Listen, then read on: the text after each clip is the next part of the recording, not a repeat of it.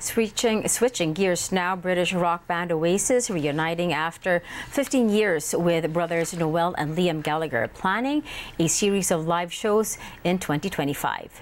The band, whose debut album Definitely Maybe was released 30 years ago, split in 2009 when lead guitarist and main songwriter Noel said he could no longer work with Liam, the band's frontman.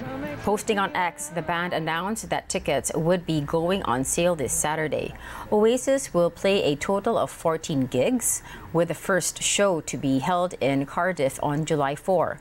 The 2025 tour will mark the 30th anniversary of the band's second album, What's the Story Morning Glory, which spawned the hits Don't Look Back in Anger and Wonderwall.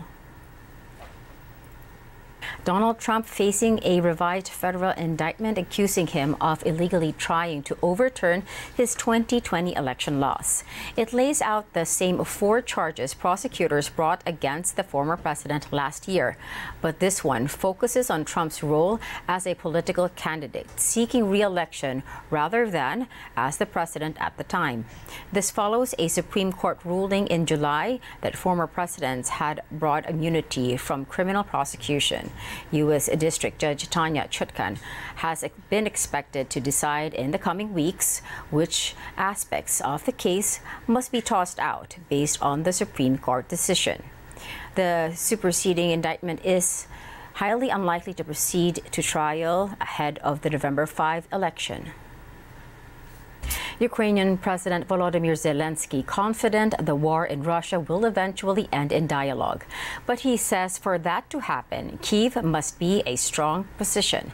He adds the three-week incursion into Russia's Kursk region was part of the plan for ending the war, along with efforts on the economic and diplomatic fronts. Zelensky did not elaborate further, but says he will be presenting the plan to U.S. President Joe Biden, as well as his two potential successors, Vice President Kamala Harris and Republican nominee Donald Trump. Zelensky's remarks indicate he sees the potential for talks as a follow-up to a second international peace summit in November, at which Ukraine has said it wants Russia to have a representative. Israeli special forces recover another hostage from Gaza following what it calls a complex rescue operation.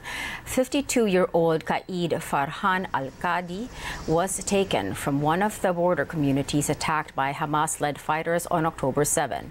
Al-Qadi's rescue leaves 108 Israeli and foreign hostages still in Gaza.